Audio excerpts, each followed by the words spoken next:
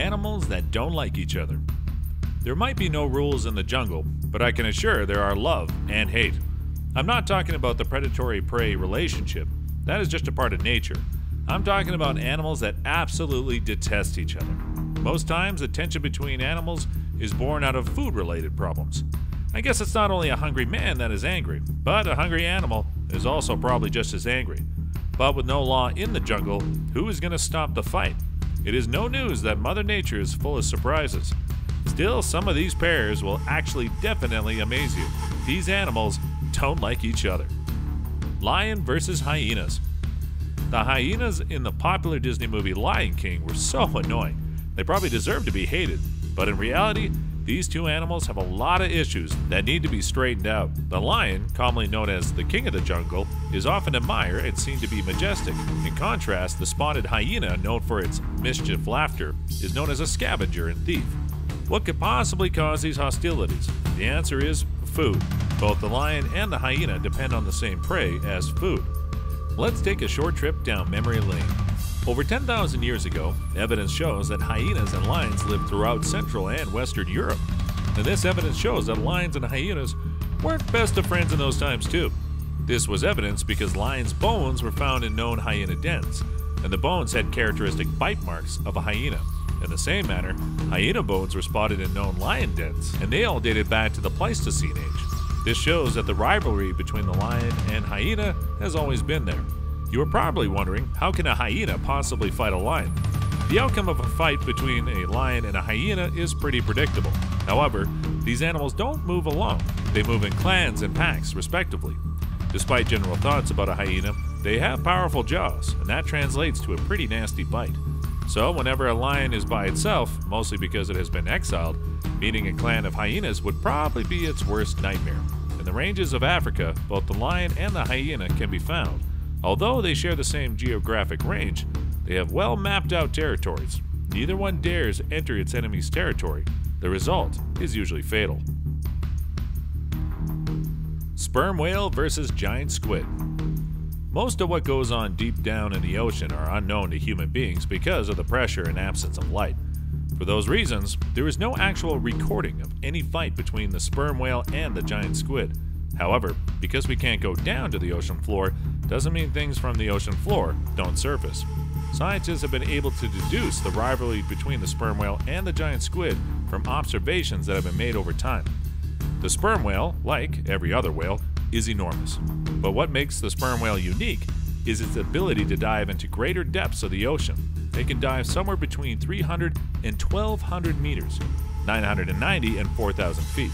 At such depths, the water pressure is high and light rays aren't able to travel that far.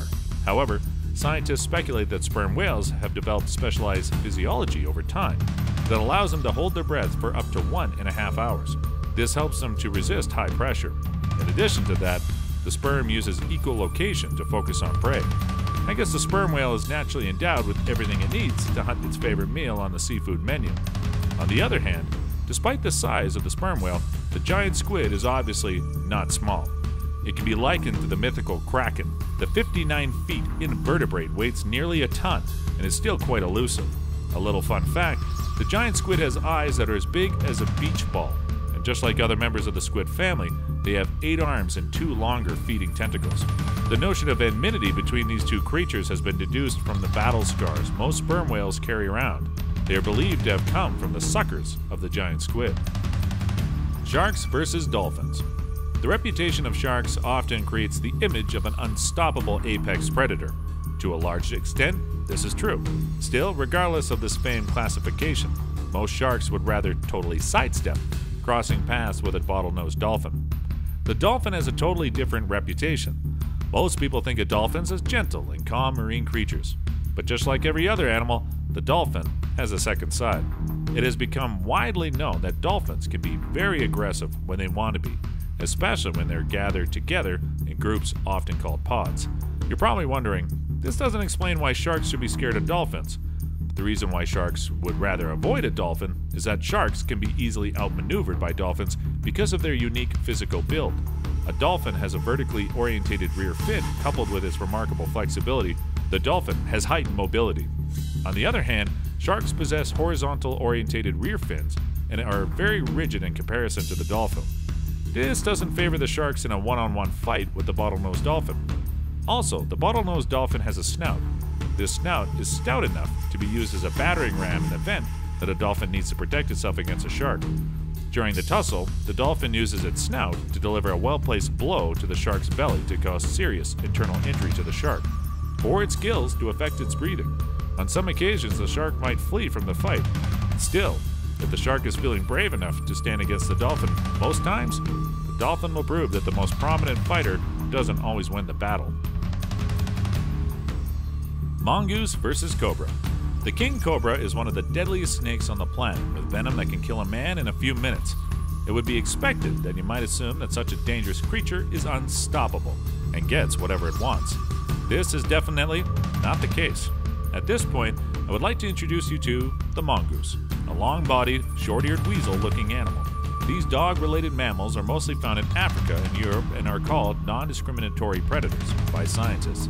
This means if they can hunt it, they'll eat it The question that needs to be answered now is how does this weasel like animal take on the most venomous snake? To begin with, mongooses are brisk and agile. They also have strong jaws and a tough hide that guards them against the fangs of the cobra. A mongoose is one of the few known mammals that are immune to the venom from snakes. It is not impossible for a mongoose to die from the bite of a cobra. It is known that the amount of venom delivered by a cobra in one bite is substantial and that is what makes them extremely dangerous. However, the mongoose creates a glycoprotein that binds to the protein in the venom to make it less toxic to the mongoose. So, the mongoose has both the biological and chemical factors as an advantage over the cobra. This is what gives the mongoose the courage to rush into a cobra, which is larger and more dangerous than the mongoose. Polar bear versus walrus. Teddy bears are cute and cuddly, but not all bears are cute or even cuddly. The polar bear is an 800 kilogram marine mammal. Yes, you read it right marine mammal. The reason for this classification is their habitat and source of food. Polar bears spend a large part of their life on the sea ice of the Arctic Ocean, and they depend on the ocean for their food. On the other end of the ring stands the walrus.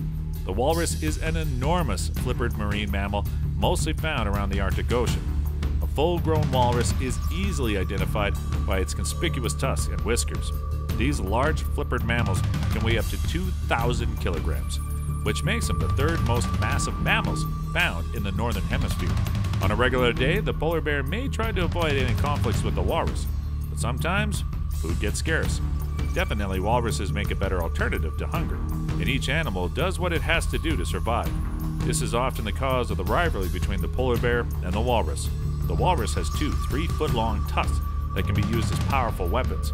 Although the polar bear is more robust and has the natural abilities of a predator, on many occasions polar bears have been found dead or severely injured by the tusks of a walrus. That's it.